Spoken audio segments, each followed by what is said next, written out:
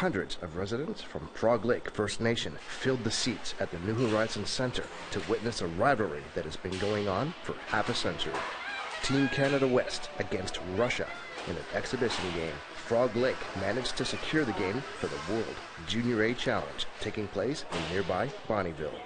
Clifton Cross is the Youth Recreation Director for Frog Lake. He helped make this game a reality. And then being given the privilege to actually host an international game in the First Nation, which to my understanding is one of the first ever to happen.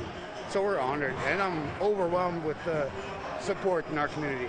Residents here were excited to see such a high caliber of hockey played between two hockey titans.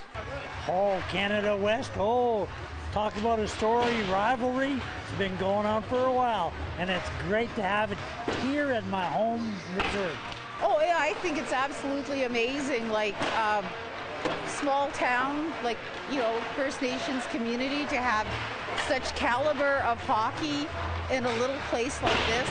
I think it's amazing for the community, the surrounding community, the kids who may never get the opportunity to see anything like this.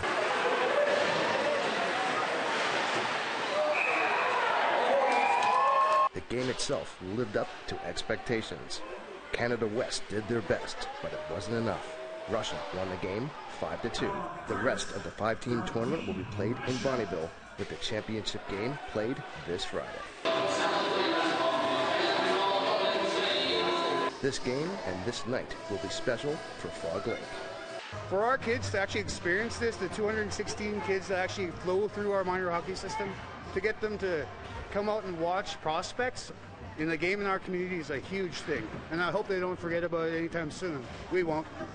Chris Stewart, APTN National News, Frog Lake, First Nation.